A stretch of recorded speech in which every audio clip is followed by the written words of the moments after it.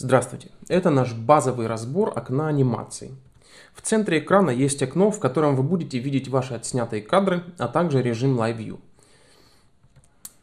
В верхнем левом углу есть панель управления для фона. Так что его можно настроить черным или белым в зависимости от того, что вы снимаете и какой фон вам нужен. Также есть контроллеры для разделения А и Б. Я расскажу об этом в другом видео чуть позже. Также есть вот эти кнопки определения цвета. Это очень полезная функция для плавного высвечивания заднего и переднего плана, и об этом я тоже расскажу в другом видео. Здесь внизу, в левом углу, вы, возможно, узнали все эти элементы управления. Они очень похожи на те, что в окне анимации.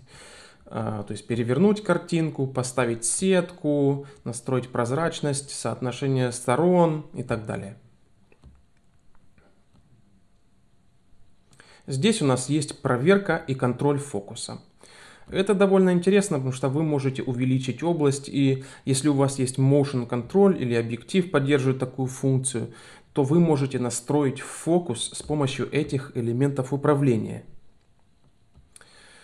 Вот здесь наши режимы просмотра. Сейчас мы смотрим на live, я даже могу помахать рукой, вот live. Затем у нас есть полноцветный режим, который применяется к готовым снимкам. Поэтому у меня есть два тестовых снимка, которые я сделал, и сейчас они в полноцветном режиме. Затем у нас есть черно-белый режим, режим просмотра отсечения. Здесь вы можете видеть, что мы выделяем засвеченные области э, в, в этой картинке. Так что это режим, в котором мы установили шкалу градации серых оттенков. У нас также есть ряд различных режимов просмотра 3D. И мы расскажем об этом в другом уроке, э, как мы снимаем 3D в Dragon и как Dragon можно, может контролировать глубину 3D во, во время съемки. Итак, давайте перейдем назад в Live. Вот режим Live. В этой нижней области у нас есть панели миниатюр для снятых кадров. Здесь будут наши фактические кадры. То есть ниже у нас есть тестовые снимки – Тестовые снимки делаются с помощью вот этой кнопки здесь. Вот этой. Это кнопка настройка камеры для тестового снимка. Я вот сделал один сейчас. Тестовые снимки можно делать, когда вы пытаетесь настроить вид сцены, то есть вы пытаетесь выставить освещение или найти баланс. Для этого можно делать пробные снимки. Также мы добавили классную опцию референсы. В это окно можно добавлять картинки или референсы из других сцен, которые должны совпадать или выглядеть как сцена, которую вы снимаете. Или может картинка, которая подходит по цветовой палитре. Но в целом это э, место, куда можно поместить референсы. Если вы сняли тестовый снимок, который вам очень понравился и вы хотите использовать как референс, можно его просто перетянуть вниз. Вот так. Тестовые снимки и референсы остаются здесь на протяжении всей съемки, так что даже если вы меняете сцены, референсы и тестовые кадры остаются на месте. Справа у нас есть элементы управления для окна анимации. В первую очередь вам нужно знать, что это настройки камеры и информация о снимке. Я перетяну настройки камеры сюда. В информации о снимке есть гистограмма, которую можно настроить в разных цветах. И вот это информация о снимке, который у нас выделен в данный момент. Настройки камеры это по сути элементы э, управления вашей камерой. Особенно если вы снимаете на Nikon, Canon или Sony. Есть достаточно много камер, которыми можно управлять напрямую через интерфейс. Контролировать можно в принципе все. Баланс белого, выдержку, ISO, все это может быть э, также заблокировано, потому как если вы настроили экспозицию и не хотите, чтобы что-то поменялось, вы можете заблокировать настройки здесь. Также можно добавить несколько экспозиций, мы сделаем отдельные уроки. Обнаружение цвета – это система, в которой вы можете брать образец цвета. Я нажму на эту иконку, например, серый цвет. И теперь вы можете настроить отклонение здесь.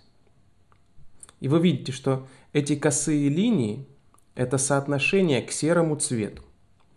Можно уменьшить отклонение, чтобы показать только ту область, которую я выбрал. Это будет полезно, если нужно равномерно высветить фон или если нужно настроить определенный тон лица или цвета, чтобы все было одинаковым во всех дублях.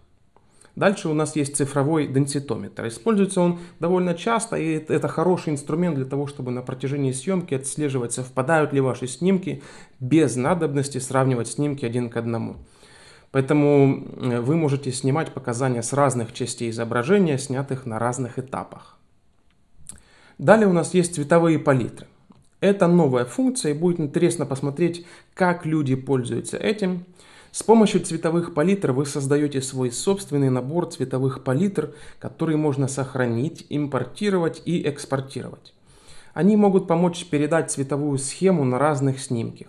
снимках. Таким образом, вы можете создавать цветовые схемы, брать снимки и делать образцы, а также вы можете создавать цветовые схемы в других программах, например, в Adobe, а также переносить их и загружать в наш раздел цветовых палитр и сравнивать эти цвета с вашей сценой. Дальше у нас 3D обзор. И здесь есть целый ряд элементов управления, которые помогут вам настроить и точно измерить глубину 3D. Здесь можно настроить конвергенцию, то есть схождение, расфокус по краям, а также здесь есть точные инструменты для всех изменений 3D, измерений. Э, ну и последнее, у нас есть заметки для камеры. Это просто поле, где можно писать, э, кто оператор или режиссер, или любые другие важные примечания для команды, которая будет работать на площадке после вас. Все эти элементы можно включать и выключать, можно вообще все выключить. Э, так что вы можете оставить только то, что вам нужно для работы. И вы видели, я уже так делал, что можно их передвигать, вот как вам удобно. На этом пока все. Пока.